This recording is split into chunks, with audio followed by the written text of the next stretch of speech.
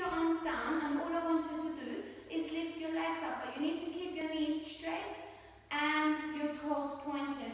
So lie with your head down and lift up. Lift as high as you can.